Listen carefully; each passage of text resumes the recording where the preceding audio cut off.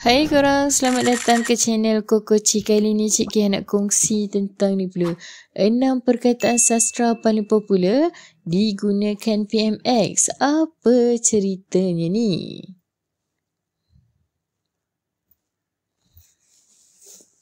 Sebelum ini selesai saja dilantik sebagai PM ke-10, Datuk Sri Anwar Ibrahim dilihat selalu dapat panggilan dari banyak pihak yang nak ucapkan tahniah atas pencapaian dia tu. Sejak Anwar bergelar PM, makin banyak fakta dan juga maklumat tentang diri dia yang telah dikongsi dan diketahui ramai. Tak kisahlah korang sokong kerajaan atau pembangkang, Cik Kia bukan nak borak politik kali ni. Apa yang pasti, PM kita memang ada kemahiran yang sangat tinggi dalam bidang sastra bahasa Melayu. Dalam tempoh setahun dia pegang tampuk pemerintahan, memang ramai perasan yang dia sebenarnya giat untuk popularkan penggunaan istilah bahasa Melayu yang sekarang ni makin terasing. Bagi Cik Kia, tindakan dia ni memang layak dan harus dipuji. Tak dinafikan bahasa Inggeris memang main peranan penting. Apa lagi dalam zaman sekarang ni. Tapi jangan pula kita lupa asal usul untuk memartabatkan balik bahasa ibunda kita. Jadi kali ni Cik Kia akan cuba senarikan beberapa istilah yang digunakan Anwar sepanjang tahun ini. Pertama Madani, istilah-istilah yang paling didengari ramai sebab itulah slogan utama visi negara. Madani ni sebenarnya bermaksud pencapaian tinggi dalam bidang fikiran, rihani dan kebendaan. Kedua, cerakin. Cerakin sebenarnya ada pelbagai maksud tapi dalam artikel rujukan Cik Kihani disenaraikan dua iaitu perbuatan untuk mencari kebenaran dan juga menghurai atau memecahkan sesuatu perkara kepada asas dia. Ketiga, islah. Islah biasanya perkataan yang digunakan untuk mengislahkan. Bermaksud usaha untuk kembalikan sesuatu perkara kepada asal usul yang betul dan lebih sesuai.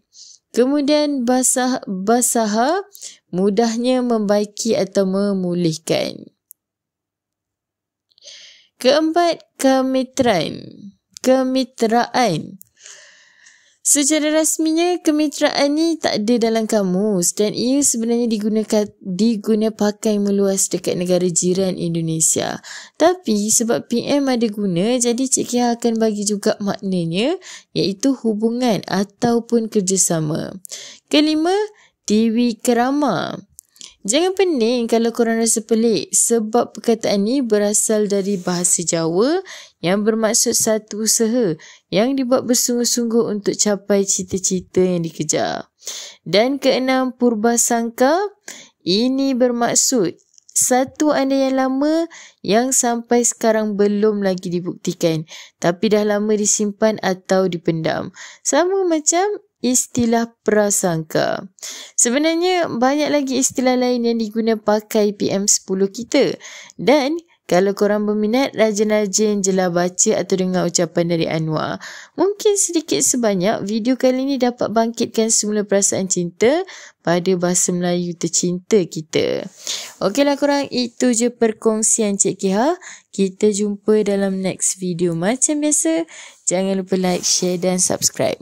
Bye. Ya, kejap-kejap. Nak lihat apa seterusnya? Subscribe dulu, okey? Okey, sedikit ya. Janji-janji. Okey. Satu, dua, tiga. Okey, subscribe. Terima kasih. Jangan main dengan sumpahan mulut aku.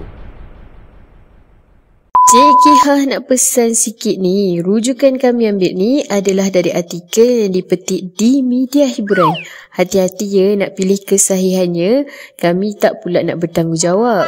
Cik Kihah suggest anggap sajalah semua ni sebagai hiburan dan bukan sebagai satu gosip yang boleh disampaikan di tingkap jiran-jiran.